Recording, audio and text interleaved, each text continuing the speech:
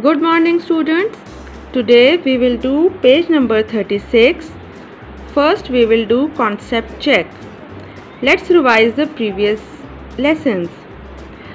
Filling the blanks. Number 1 is a dash animal is one that is cared for and used by humans. Is it tame or wild? Can we use wild animals and can we take care of them? No. So, a tame animal is one that is cared for and used by humans. So, we will write tame here. Second one is pets and dash animals are tame animals, wild or domestic. Can we train uh, wild animals? No, we can train only domestic animals.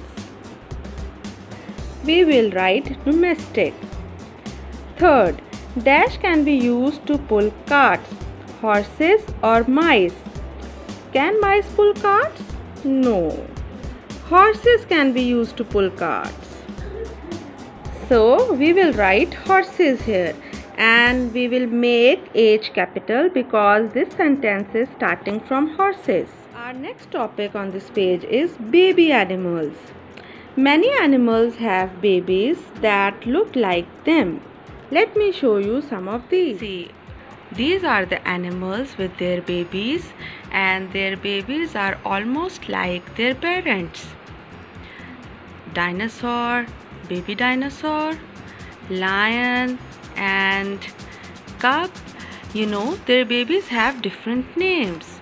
Like camel baby is calf, lion baby is cub, kangaroo baby is joey, goat baby is kid and panda and tiger babies are also cubs. Other animals do not look like their parents. Frogs and fish lay eggs in water. Baby fish are called fry. Baby frogs are called tadpoles. They do not look like their parents. In these pictures, we can see animals with their babies like swan and its baby name is Cygnet, bear and cub, horse and foal, frog and tadpole.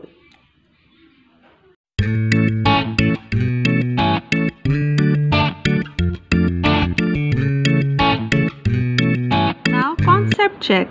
Match the adults with their young. So swan baby name is Cygnet. Frog baby name is Tadpole. Match frog with tadpole. Bear baby is cub. Cat baby is kitten. Do you like cute kittens?